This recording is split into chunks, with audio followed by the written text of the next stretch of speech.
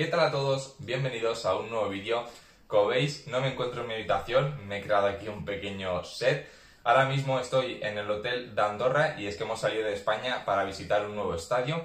Hoy toca ir al Estadio Nacional de Andorra, donde actualmente juega la selección. Espero que os guste mucho este vídeo, así que preparo la mochila y vamos para allá. Pues ya estamos en la entrada del Estadio Nacional de Andorra. Ha sido un paseito bastante largo, mucha calor, pero nos encontramos en la entrada del Estadio Nacional.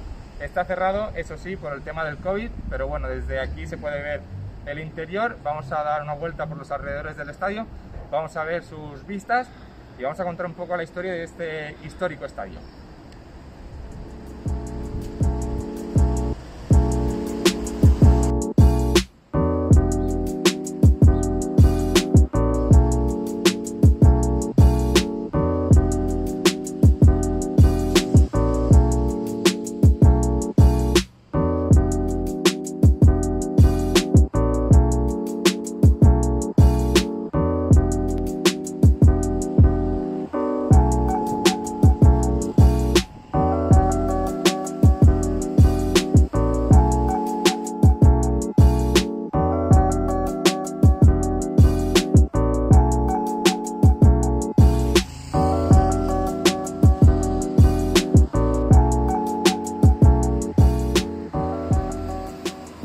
Pues como habéis visto, el estadio está pegado al Polideportivo de Andorra, donde hay otros deportes como por ejemplo básquet y hockey.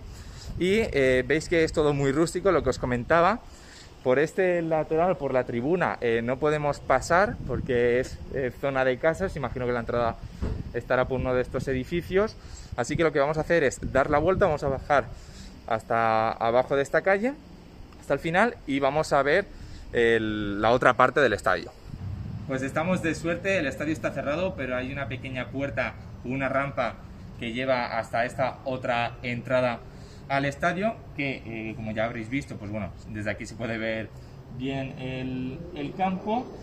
Y eh, aprovecho para contaros un poco la historia de este campo. Durante el vídeo, pues bueno, voy a ir dando datos. En este campo os preguntaréis, ¿quién juega? Pues bueno, eh, lo primero, eh, aquí el fútbol en Andorra es un fútbol peculiar, eh, muchos ya lo sabréis. por el canal han pasado jugadores de, de Andorra. De hecho, hace ya unos meses hablamos con Ildefons Lima, leyenda del fútbol andorrano, que cuando juega con la selección, pues juega en este campo que vemos aquí. Un campo que se construyó en 2013 se inauguró en 2014 en un partido contra Gales. Eh, ¿Qué más deciros? Bueno, un campo muy bonito, eh, muy pequeño, muy acogedor, como veis, muy rústico. Eh, sobre todo han querido que se, que se, mm, podríamos decir, que esté incorporado dentro de, del propio país, del propio territorio, de, de, las vistas, de las montañas. Ya lo estáis viendo en el vídeo. Un campo que personalmente creo que es de los más bonitos y con unas vistas espectaculares. Cuando estuvimos aquí en Andorra hace unos meses, em, grabé el, Andorra Ebro y también había unas vistas espectaculares, pero este igual la supera porque está totalmente rodeado de, de montañas. Así que bueno, eh, vamos a seguir dando una vuelta por el estadio y os doy más datos. Vamos para allá. Pues esto no lo sabía hasta ahora y es que para llegar hasta esta tribuna tenemos que entrar por este callejón que resulta ser la salida de un parking. Como veis, eh, es un callejón pequeñito, pero bueno, se puede ver un, un poco el campo y en días de partidos pues imagino que la gente se vendrá aquí para ver el partido desde fuera. Y por aquí, como veis, el, el cartel es el, el, pasillo, la entrada al, al, campo por parte de los jugadores, donde se encuentran pues bueno, los vestuarios y zona mixta. Este sería el pasillo de la entrada. Pues ya hemos dado la vuelta al estadio y lo que encontramos es el río. Ya os digo que es que este campo cuenta con unas vistas espectaculares, las mejores hasta el momento que yo haya visto en persona. El río baja por todo el fondo del estadio. Vamos a ir hasta el puente y continuamos rodeando todo el estadio.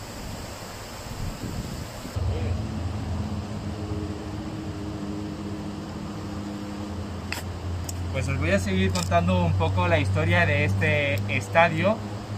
un estadio que lleva pocos años en activo, pero que ya ha vivido momentos históricos. Os tengo que decir que aquí, al ser el estadio de la selección, pues han venido selecciones muy grandes. Eh, os voy a hablar del último año, el año pasado, para la clasificación del europeo. Aquí jugó la actual campeona del mundo. Vino la Francia de Mbappé, de Griezmann, de Giroud, bueno, de, todos los cracks. También ha, ha, venido Turquía, de hecho ese fue el último partido que se jugó aquí. Y el año pasado, aquí se logró en esa clasificación para el europeo no quedar último, Andorra no quedó última en el grupo, quedó penúltima por delante de Moldavia. Aquí ganaron los andorranos con un gol de Marc Valés, que yo os adelanto que va a estar en el canal dentro de unos días y nos va a explicar cómo es jugar en este estadio, cómo es jugar con una selección tan pequeña y cómo fue meter ese gol histórico que le dio la tercera victoria a Andorra en un partido oficial. Unos momentos después... Pues quién lo diría, estaba haciendo un calor terrible y de repente está lloviendo y está lloviendo bastante fuerte, os tengo que decir, se ha mojado todo el equipo, yo ahora mismo me estoy mojando, así que vamos a despedir por aquí el vídeo. Madre mía, esto es de locos. Pues bueno, espero que os haya gustado mucho este campo, ya sabéis que para mí Andorra es un país que me encanta, tanto por su cultura como el fútbol, creo que hay que darle más protagonismo al fútbol que se vive en estas montañas un estadio pequeño, césped artificial, unos 3.000 espectadores, el estadio de la selección, también selección de rugby. Así que bueno, espero que os haya gustado mucho este vídeo. Sí, así que dejéis un like, que comentéis, que os suscribáis si no lo estáis, madre mía, me estoy mojando muchísimo. Así que bueno, espero que os haya gustado y hasta la próxima.